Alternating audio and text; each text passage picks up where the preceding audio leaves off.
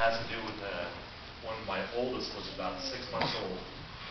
We decided, Jeff, Nan, Brenda, Jeremy, and I, we're gonna go take a little trip over to Lewiston, Idaho to visit a couple friends that had moved over there that were part of our group.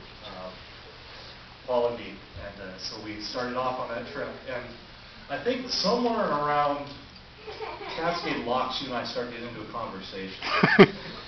And Jeff and I were going, and I, unfortunately, Ann was sitting right behind me and I couldn't see her face. But I hear stories about it afterwards.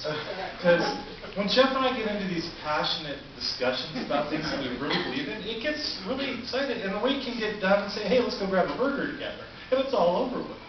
But I guess about the time we got across the Washington border, heading over there to Lewiston, um, there were probably claw marks in the back of my seat. I heard there were motions for going around my neck, and what I took away from that, she fiercely loved you. Fiercely loved you.